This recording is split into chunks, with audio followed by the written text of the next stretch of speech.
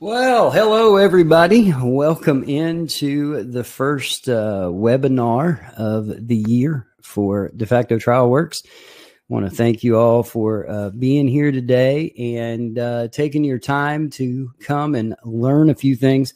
Uh, I want to go over a little bit of what we're going to do uh, today. Uh, you will notice in WebinarJam here in your area, you're going to have some uh, little red dots there uh, that enable you to have a chat area uh, where you can send a chat message. I'm going to look at those uh, toward the end of the webinar. Also, there is going to be a replay of this. So if you have to duck out, that's okay. the only thing is, there's a couple of offers that I'm going to give toward the end of this. one of them has to do with some educational stuff, and the other uh, has to do with um, going to a Zoom. So at the end of this webinar, I'm going to be posting a link to a live Zoom where if you've not used Zoom before or you want to learn how to use Zoom based on some of the things that we're going to talk about today, and you want to try some of those things with some live people, uh, we're going to have that Zoom going and ready for you uh, today. So as soon as this is over, uh, we're going to be able to do that. Now, another area you have is you can request to speak. And so when I go to the question and answer section of this and you want to say something, uh, as long as you have a mic that works, you can hit on the speak button and I will then uh, unmute you and enable you to come in and speak. So uh, now that we have all that out of the way, uh, I want to uh, go into, first of all, we're going to talk today about Zoom. Okay. But there are so many other platforms that are available out there for you. And we're going to do some live stuff today with Zoom. I'm going to go through some tips and tricks uh, that I use. Uh, we're going to take a look at some things we did in trial. But one of the things that I had the ability uh, to do last week was I got to talk with my friend Paul Knoll over at Precise. And Paul just finished a trial, his company did, where they had a ton of people in this in this uh, uh, remote hearing, and I wanted to bring him in and ask him some questions about that. So uh, I've asked him to. He requested to speak, and so I've given him permission. And I want to know if he's able to hear me. Paul, are you able to hear me? And if he's not able to hear, I'm going to move on. There's Paul right there. Uh, Paul, how you doing, buddy? You need to unmute. Make sure you're unmute. I think that was uh, probably the uh, question of the year or statement of the year was you're on mute. So, Paul, can you hear me? Gotcha. There he is right there. Good. Hey, Paul, welcome in. Uh, glad to have you here. And I want to talk about something. Paul, you guys had a case uh, over at Precise that required you to use something other than Zoom. Talk about what you guys used and the advantages and disadvantages of that. Sure, sure. Thanks for having me, Rob. Great to see you again.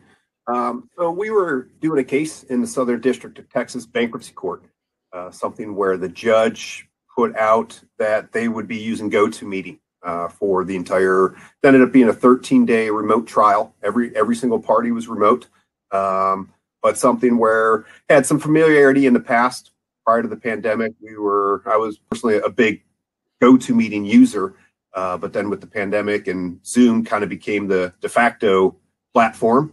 Um, and we made the switch internally just because it was a little more user friendly with Zoom um, for, for the end user experience. But the judge was using GoToMeeting across the board. Um, for this particular instance, the judge was really a master of his domain. Um, he was in full control uh, as the admin. It's not like he had to go to tip staff every time there was an issue. He was extremely proficient in it, which just helped make everything a, a world different smoother. Um, you know, is inevitable at some point, usually beginning of each day, where different participants would have issues trying to connect and, and this and that. He was able to walk them through uh, and get everything squared away and get everything up and running. Um, the, ju- the judge did, they did not use the GoToMeeting, GoToMeeting um, audio function. What they did is they used the court's teleconference system which gave the judge much more control over being able to mute and unmute participants. Uh, so the audio and video was out of sync a little bit, which you know was like watching the old kung fu movies, as everybody's always said. Uh, but you just kind of grew accustomed to it. It really wasn't much. What challenges did you guys face having that many participants? Because there were over 100 people in this thing, correct? Yeah, yeah. The biggest thing initially uh, at the onset was just making sure you get into the meeting. They were initially using, um, I think it was the GoToMeeting Pro, which limits up to 250 participants that are allowed in in the meeting. So that was the first thing was just making sure you could get in. Eventually, they did switch over to the enterprise version, which allows up to 1,000, maybe 3,000 participants. Um, but that was that was the biggest thing, and just kind of that that little issues with um, when people do need to speak, they have to press star five. Um, so that became an issue again, like you said, kind of you're on mute. Um, be, but nothing nothing too out of the ordinary. One thing was that uh, between each direct and cross examination, the judge would need to switch the controls to whoever the active presenter was.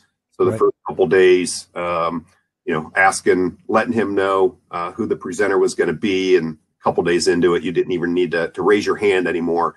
He was again a master of his domain and kind of flipping and toggling as needed. Did the bandwidth stay pretty steady with that many people inside of a remote uh, hearing like that? Yeah, there were there were no issues at all. You know, again, that's usually more of an issue on the end user if they're trying to use Wi-Fi and their kids are streaming uh, their homeschooling or video games or whatever it might be. But for the most part, we stayed hardwired internet access, and, and we didn't have any issues at all on our side.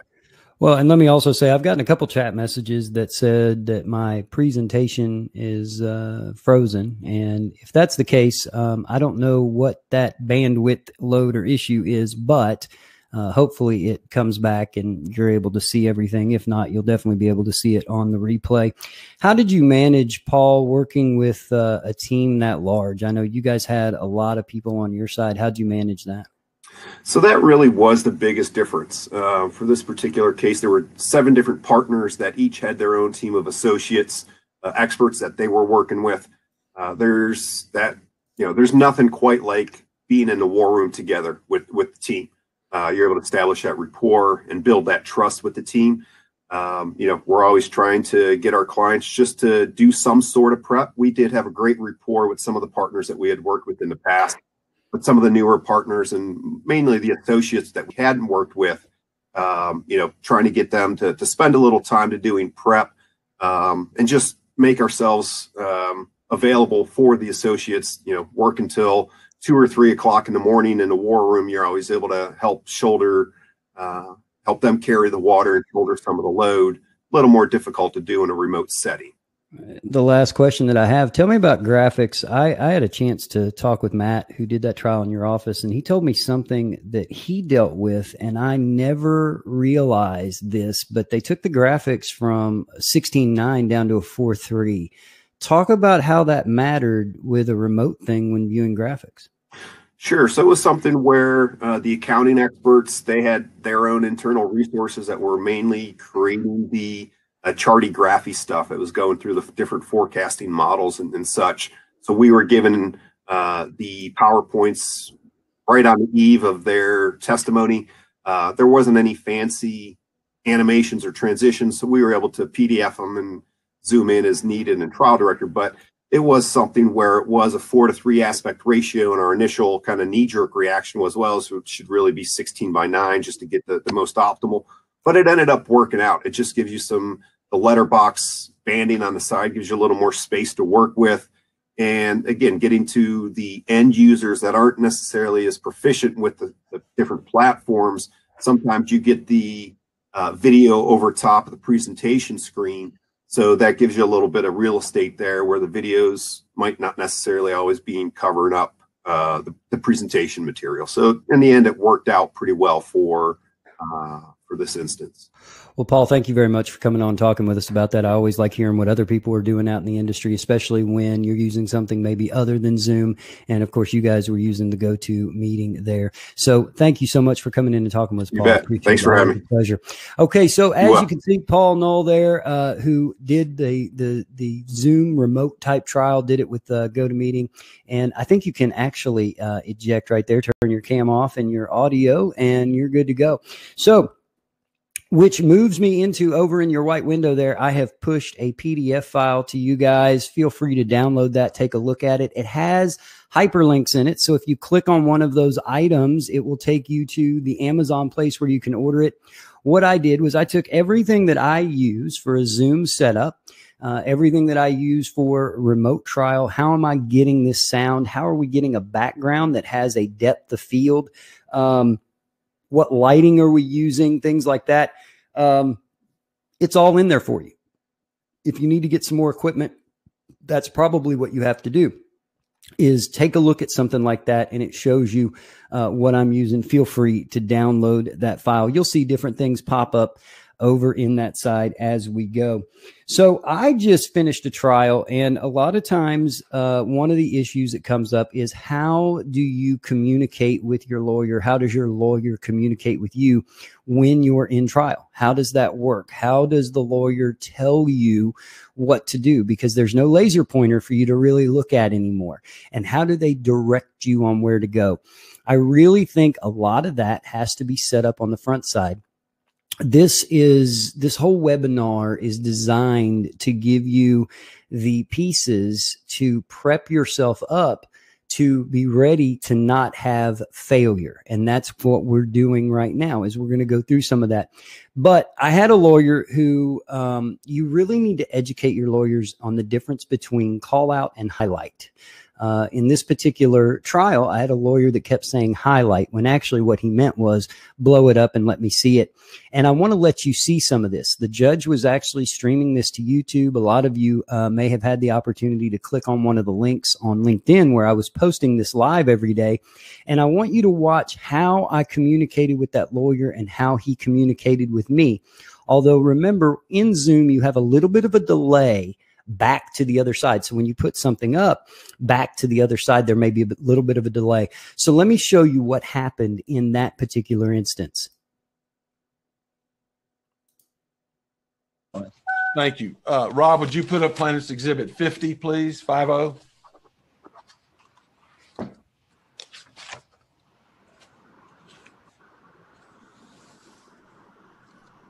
blow it up a little bit. Have you seen this letter before, Mr. El Chami? And by the way, is it El Chami or El Shami? However you prefer, sir. Well, I'd prefer to call you the way you want to be called. I'm happy both. Both? Yes, sir. Okay. I apologize if I've been saying it wrong, but I found out last night that it might be El Shami. Um, have you, you to say. Okay, thank you. It, have you seen this letter before uh, from Mr. Scott to you and your father dated May 1st, 2019? Uh, yes, sir. I believe I, I have to see the contents, but I looks like I've seen that letter before. Did, did you get it on or about May 1st, 2019, either through email or fax or both?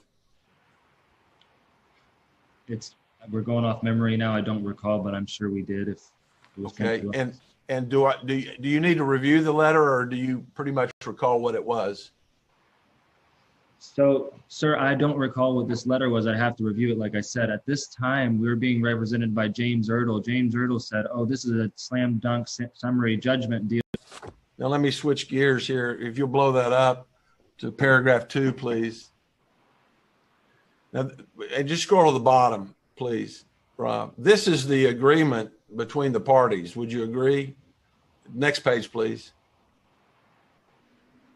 Rob that y'all signed.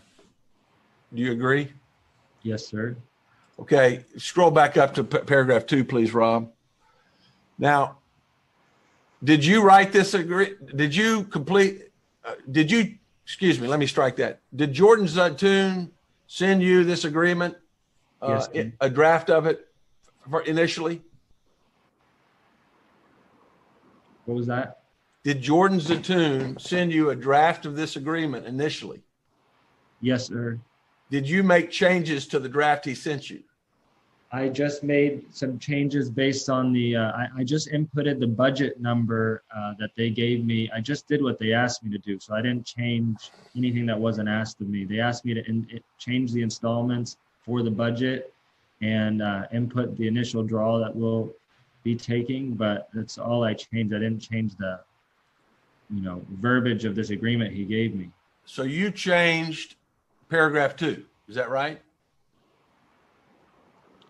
Yes, as I was asked to. Rob, is it possible to put up this agreement next to defendant's exhibit 116, please? They are perfect. Thank you.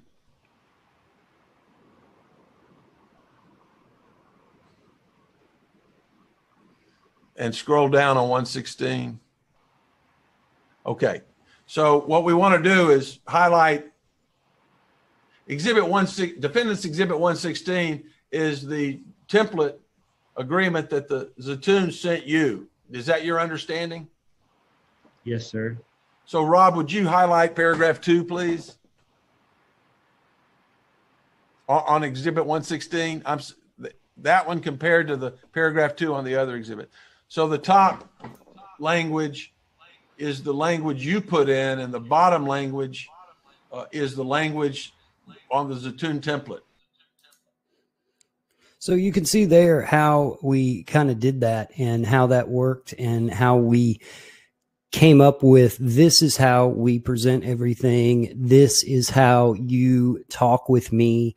Uh, this is how we work. And he just said my name. That was the easiest thing for him to be able to do was to say my name, tell me what he wanted, tell me where he wanted to go. So the one thing you have to remember about Zoom is Zoom is nothing more or presenting remotely is nothing more than actually doing it in, in court. It's no different. You're sharing one screen, and that is whatever your presentation screen is. So, for instance, if you're in trial and you have a projector and screen or you have monitors, you're going out to those monitors. Treat your secondary monitor as that. So let's jump in and let's really look at some of this. Let's go over. I have, I am connected here via a jump desktop and I'm going to set up a Zoom meeting uh, right now that we're just going to schedule a meeting and we're going to go through the settings that you can use to make this a little easier for you as you're going in. So we'll just go in here and we're just going to type in test right here. And I'm going to set this thing for uh, three o'clock or four o'clock is fine. It doesn't matter what time you set it for. Set the duration at one hour. And right here, I don't require registration for anybody. I don't think that's something you need to do. I also don't use a personal meeting ID, although you can. If you use a personal meeting ID, that's something that just is the meeting ID that you can give somebody. So if you want to memorize that number, which I actually will here because this is how we're going to go in. So we're going to say 604 538 and the last is 1851. That's the number that you would give to somebody to come into your meeting. You can also set up a passcode if you want. So I'll just set this one as test as well. Uh, that'll be my passcode, or you can set a waiting room. Now, the difference is when you have a waiting room, you're going to have to authorize people to come in. But when people have a passcode, they can automatically come in. You're going to have to require, you're going to be required to put one of these things in one way or the other. Then down here, I always allow video for the participant and the host, and I always allow audio to be both because I want people to be able to use the phone or use their computer audio to come in. Now, right here on your meeting options, uncheck the mute participants upon entry. I would much rather the user be able to uh, mute and unmute as they wish. I don't want them to be bound by me. Now, if you want to have and set that up. You're going to be telling people, hey, you're on mute. You need to unmute. Automatically recording the meeting, I don't do. And you can approve or block entry from somewhere else. So if you want to block entries from other countries or other areas, you can certainly do that. And then I'm just going to click save. Now, what this does is this is going to give us this meeting information right here that we can go in and we can copy the invitation and send it to somebody and things like that. So we're ready to go. But what I'm going to do is go back into my meetings here and notice that now that I've saved it, I have this one test scheduled. So I'm going to go ahead and start this meeting.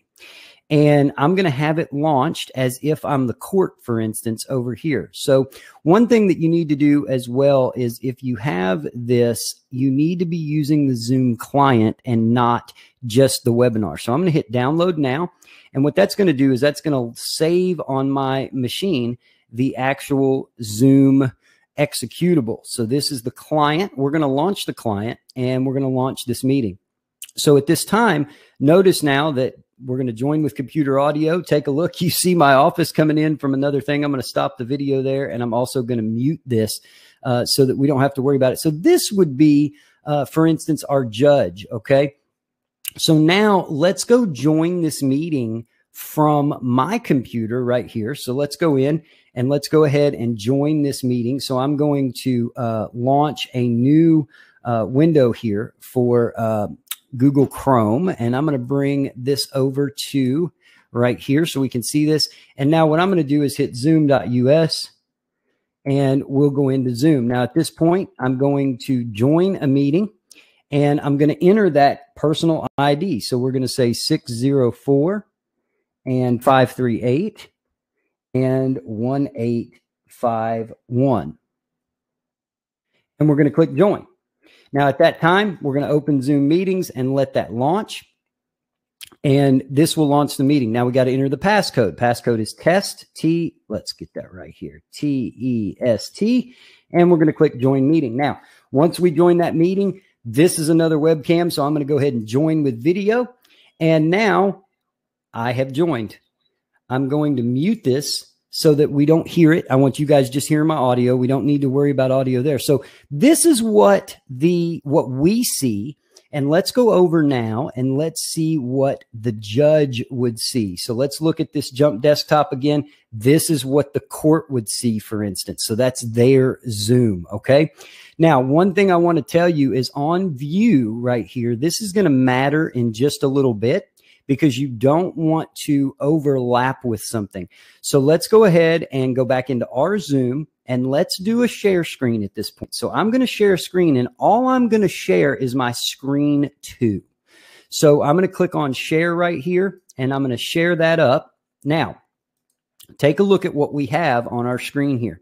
Screen two is what's being shared and you can see that I have that green box around that.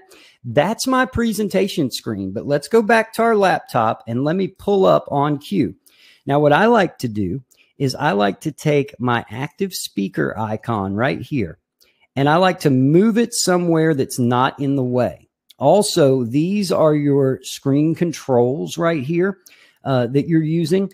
I like to take those and you can hide the floating meeting controls. So when you hide that, if you need to pull it back up, you simply push escape and it'll come back up there for you. Okay. So we're just going to hide the meeting controls. And right now, what we're sharing is our secondary monitor at this point. So I'm going to hide the meeting controls right here. And let's go over and look and see what the judge sees. There is what the judge is seeing. Okay. So with that going right there like that, let's go up into their view. This is where you want to have people on the other side. They need to have a side by side gallery or side by side speaker. And the reason for that is because you don't want to overlap when you do a call out. You don't want to overlap this area of the screen. Also, on their end, I'm looking at the judge right now. I'm looking at the remote person. Notice they can move this up or down. So here's what this gives us the ability to do when we're presenting in Zoom. Let's go ahead and minimize this. Let's get back to where we are. And let's say that an attorney called for exhibit two, page seven. I'm going to launch this right now. I'm going to push F5. When I push F5, that goes to my external monitor.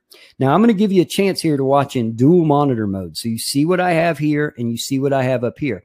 Now, if they ask me to do a call out, I'm going to do a call out. If they ask me to do a highlight, I'm going to do a highlight. They want 275 highlighted. So I'm going to highlight that. Now, what does the court see? Let's go back to our laptop and let's see exactly what the court is seeing right now or whoever. There's what they see on their end.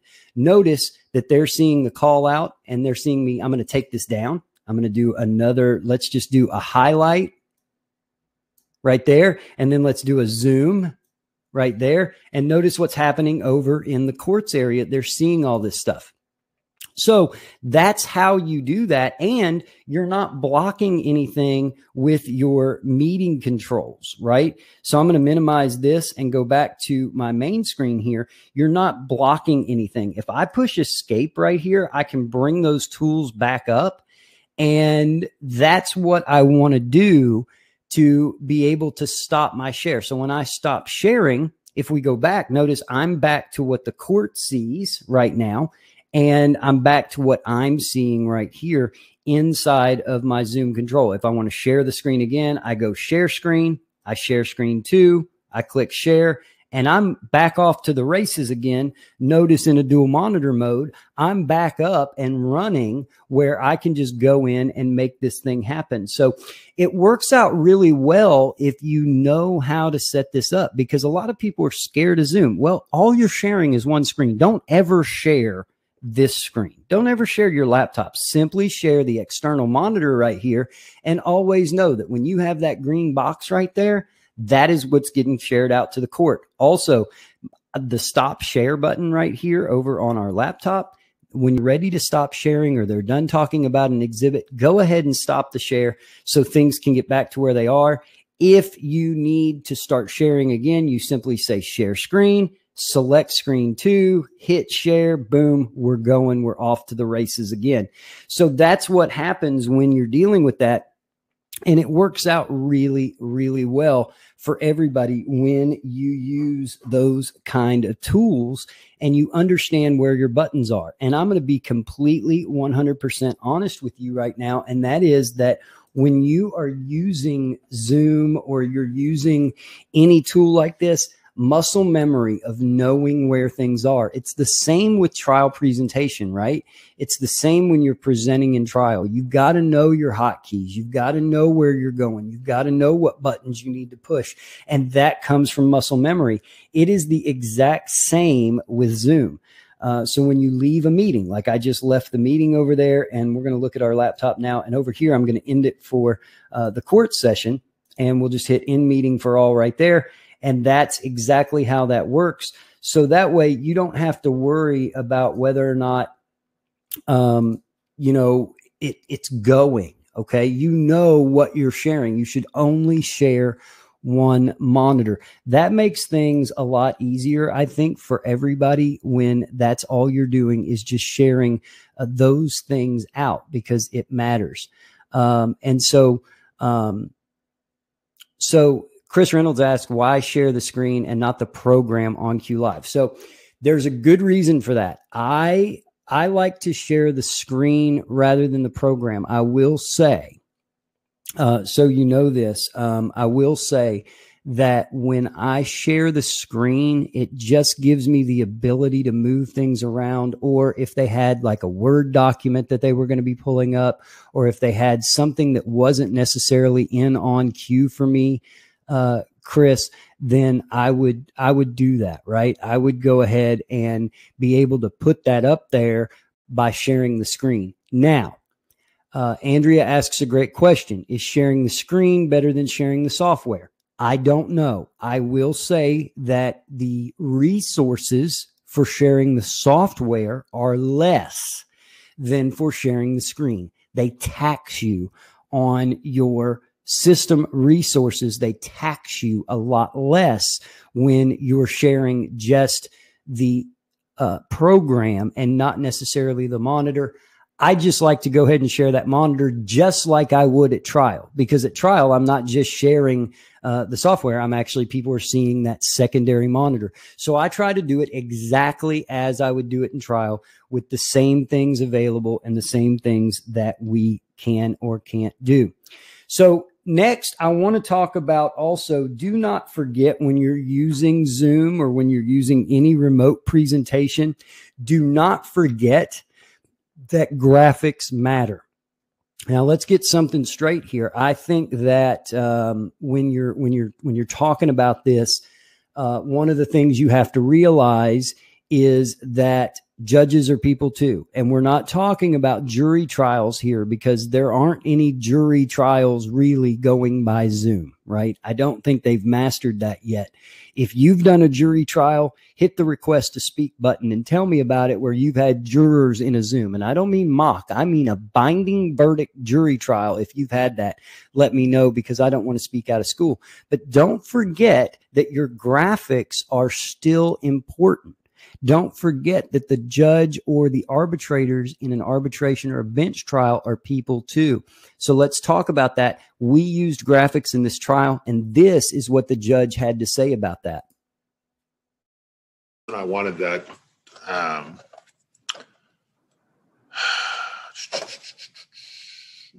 uh, that timeline is that you guys it was a very good timeline uh, that you guys did very well very well done let me just We share are- Sorry, Your Honor, we have one um, as well that Ms. Desarilla has prepared, and I haven't sent it to you yet, but we also have a timeline. okay uh, so this is what they pre- presented uh, and it, it's very good it's much more detailed than i really needed but but thank you So, as you can see there, the judge commenting on and saying thank you for sending that over.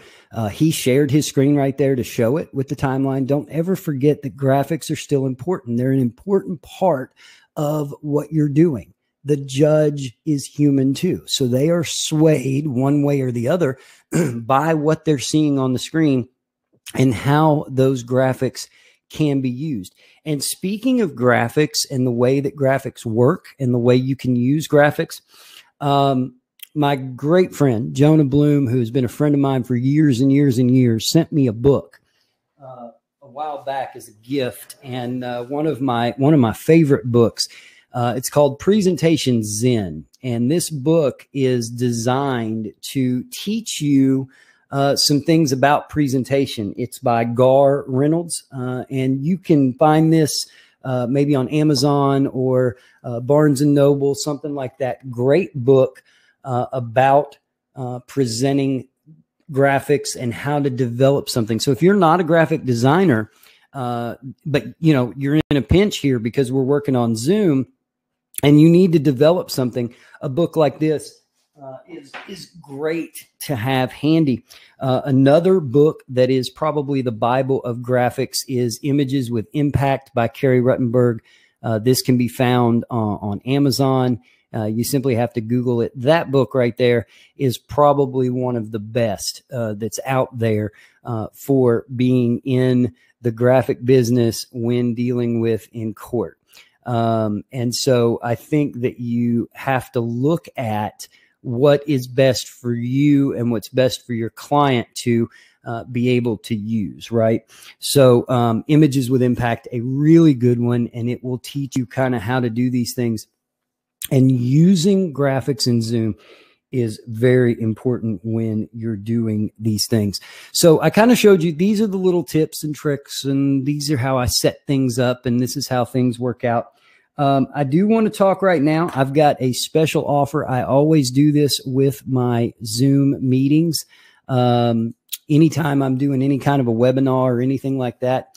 Uh, this is Trial Tech University. This is something that we started. And for the next couple hours, uh, for those of you who are here, we are going to uh, lower that rate. Normally for Trial Tech University, it is $750 for life uh, to become a member and uh, we publish content in there twice a month. Uh, there are some videos that are an hour long, some that are uh, 20 minutes, some that are 10 minutes. Uh, but I'm going to have that special offer for you guys. Feel free to hit the check it out button. That'll take you over to Trial Tech University, and we're going to knock a couple hundred dollars, a couple hundred and fifty dollars off of that for you uh, today for attending uh, this webinar. And so what I want to do now is I want to get to the Q&A section of this. Um, I want the, uh, you know, question and answer area so that we can uh, answer some questions or I can. I'm certainly not an expert at remote uh, trials. I've been doing remote stuff uh, since 2011. Uh, and I believe it was probably 2010 or 11. I'm not sure. Maybe nine uh, that I did my first remote witness with remote jurors coming in, or with remote witnesses coming in, uh, and remote attorneys coming in uh, because of uh, snowstorm. They were uh, pretty packed in and couldn't get anywhere, and the judge wanted to continue, so we did that. And of course, we did that by Skype. Uh, if there are any questions and answers, you can feel free to hit the speak button and request to speak, and I'll be glad to let you do that. And if you want to put it in the chat, feel free to put the question in chat and I will be glad to answer that. Remember that we are um, having this as a replay as well. And so if you get any questions that you want answered, you can feel free to email me. Uh, the best way to reach me is rob, R O B B, at defactotrial.com. And I will be glad to do that. So I'm going to give this just uh, a minute or two uh, to be able to do that. Now, while that's happening, I'm going to go over to my laptop here and I'm actually going to log into Zoom uh, while this is happening. And uh, we're just going to close that down and we are going to launch a new window here. And uh, we'll pull that new window back over and we're going to go into Zoom. So we're going to get zoom.us. And once we get here, we're going to sign in and I am going to sign in with Google. And there's me. And I am going to actually start the Zoom testing ground meeting. Uh, which is where you're going to get to come in and test anything that you would like to test. Uh, you can do uh, over in this area. I've got it set up. Now, let me tell you the password, the password for the Zoom meeting that we have set up. Let me make sure too that I am on mute here. So I want to take this back and let's go ahead and mute that. And I'm going to stop the video. Uh, the password for this is going to be webinar. So when I launch for you the Zoom link to get into this particular Zoom that I just launched, the password is webinar. You're going to be able to come in there. There's no structure. There's just going to be people. You share your screen, try different things, say, hey, does this look good? How do I sound? Things like that. Uh, so Mike uh, Mike Palermo asked, do you recommend a second setup, laptop and secondary monitor signed up, signed into Zoom trial for backup? Yes, uh, I do for multiple reasons. Uh, number one, failure, equipment failure. You're ready to boom, jump on over just like you would be in trial. Uh, number two, um, I like the ability to be able to kind of see what's going on on another side. So I want to see what everybody else is seeing. If you're a participant in that, which you would be, here you're working, right? Where we're at right now. If you're on the laptop right here, you're working live. I mean, you're you're doing your thing. But be a participant with everything muted. I want to see what's going on out there. So yeah, I, I would recommend a second setup uh, in case of failure. I mean, where is redundancy a bad thing? Where is that something that can get you in trouble? I mean, I, I would suggest you do it if you have uh, the bandwidth to be able to do it. Number one, uh, you want to know that your upload speeds are good. You don't want to rob Peter to pay Paul. Uh, is there a way in Zoom to let the witness manipulate, annotate your shared screen? Absolutely. You can give someone control of your screen. So when you give them that control of the screen, let's go over here and let's look at this. If I am in my laptop and I share my screen, uh, I, am just going to hit share screen real quick. I'm going to share screen too. You can also, one thing I do want to tell you when you're sharing a screen down here, you can optimize for video clip and you can share your sound. So if you're going to be doing any impeachment type stuff, you'll want to do that right here with optimizing for video clip and share your system sound out. So is there a way to let them do that? Yes, you can hit share right here. I'm going to share my screen and at this point, you can go more right here and you can give these people, you can give somebody the ability to annotate. Uh, you can annotate on your screen, or when you share with somebody, you can give somebody the ability to uh, take control of your machine and and do that. So um, that's that's definitely something that somebody else can annotate on here. So uh, you always want to be able to let somebody else do that. You can do that through Zoom when there are more people. You can select someone and then give that person that you've selected the ability to come in and annotate on your machine. Understand doing that, they've got some control. Uh, so you want to know how to get them out of that control as well. You don't want to keep that control up there. So with that said, I want to thank everybody for attending. This was not going to be a long webinar. It was not designed to me because Zoom is not hard. Uh, Zoom is not something that's difficult for you to be able to do. Uh, it doesn't take uh, much to understand and know. You just need to have that muscle memory. So let me go ahead again. For those of you that didn't get the equipment, I'm going to go ahead and put that up for you. Uh, there is the uh, equipment checklist if you didn't get that of what I'm using. And lastly, I want to go ahead and uh, we're going to if you if you want to check out Trial Tech University, go ahead and hit the check it out. I'm going to remove that offer now, and I'm going to start and I'm going to publish. Take me to the Zoom link. This will take you to Zoom, uh, where you can go in and you can try anything you want to try. You want to try to let somebody else annotate on your document. Uh, this is the way to do it. I'm going to be in there for however long you guys want to be in and come test out your Zoom presentation skills. There's the link. Click it. I'm going to leave that up there for about mm, 30 seconds. Then I'm going to take that down and go ahead and stop the meeting. There will be a replay of this. If you want to go back and kind of watch what we did and how we did it, you will be getting a replay into uh, your mailbox. Uh, that replay will be available for 48 hours. And so, thank you all so much for coming in.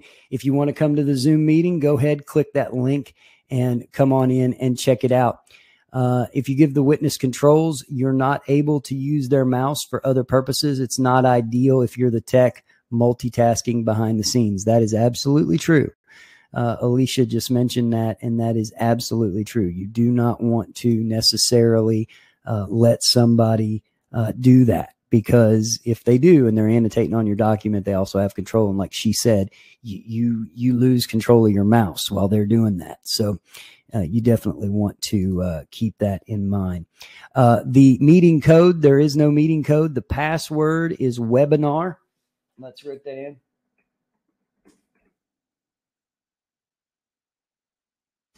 There we go. The password for the Zoom, uh, which I spelled with an X. I didn't mean to, but that does kind of make me cool, is webinar. Uh, you didn't see the link to the webinar. Well, you I'm going to hit remove offer and I'm going to put it back up there again. Look in the white area of the uh, area. Somebody may be able to point you to that so you can see it. Uh, there is the Zoom link. I'm going to leave that up for as long as you guys want it up there. That way we can uh, get people in. The Zoom webinar link is right there. I'm going to actually hit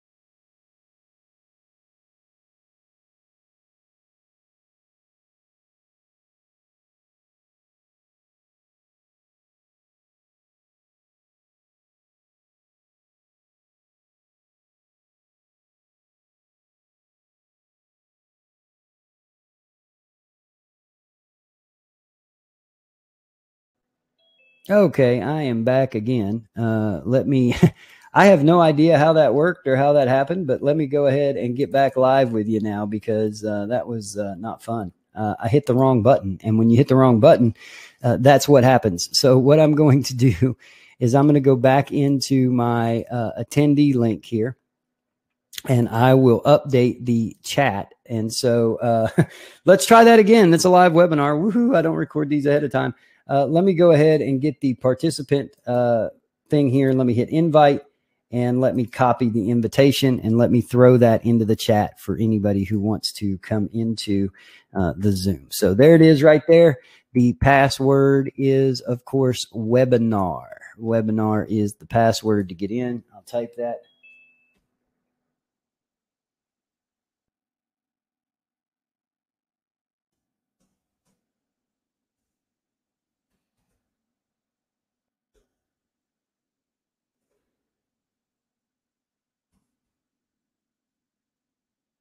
All right. Webinar is the Zoom password. And so there you go. Uh, hope to see you guys over there. We're going to end the meeting now. And thank you all so very much for being here. I'm Robb Hill with DeFacto TrialWorks.